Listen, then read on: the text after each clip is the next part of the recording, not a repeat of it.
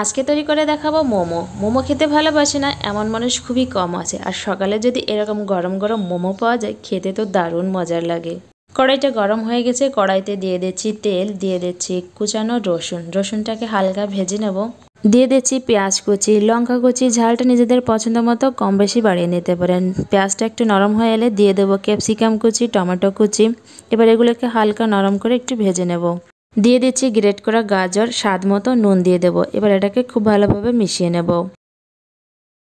সবজিটা ভাজা হয়ে গেলে সবজিটাকে কড়াইয়ের সাইডে এভাবে রেখে দেব। সামান্য পরিমাণে তেল দিয়ে দেব। দুটো ডিম দিয়ে দিচ্ছি। ডিমের পরিমাণটা কম বেশি বাড়িয়ে নিতে পারেন। স্বাদ মতো নুন দিয়ে দিলাম। এবার ডিমের সঙ্গে নুনটা ভালোভাবে মিশিয়ে নিতে হবে।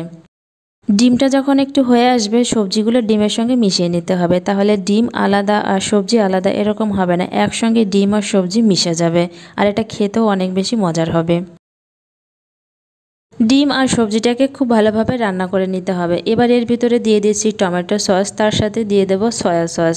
টমেটো সস আর সয়া সস ডিম আর সবজির সঙ্গে খুব ভালোভাবে মিশিয়ে নিতে হবে। এবার দিয়ে দিচ্ছি ধনে পাতা কুচি আমার এই রেসিপিটি কে কোথা থেকে দেখছেন কমেন্টে অবশ্যই জানাবেন। ভালো লাগলে লাইক কমেন্ট শেয়ার করে দেবেন। আমার ইউটিউব এবং ফেসবুক চ্যানেলে দেখে থাকলে চ্যানেলটিকে সাবস্ক্রাইব এবং ফলো করে পাশে থাকবেন। এই পুরোটা রেডি হয়ে গেছে, এবার এটাকে নামিয়ে ঠান্ডা করে নেব। দিয়ে দিচ্ছি ময়দা আর স্বাদ মতো নুন। এবার শুকনো উপকরণগুলো মিশিয়ে নেব।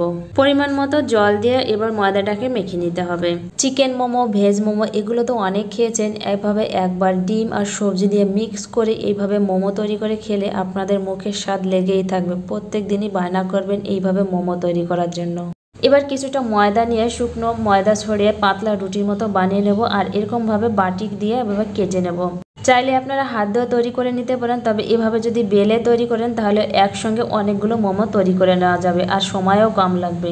মোমোর পুর দিয়ে আমি কীভাবে মোমোটা তৈরি করেছি দেখেই বুঝতে পারছেন, এখানে বলে বোঝাবার মতো কিছুই নেই, এটা দেখেই বুঝতে হবে। আর উপর দিয়ে সামান্য পরিমাণে গ্রেট করে রাখা গাজর এভাবে দিয়ে দিচ্ছি।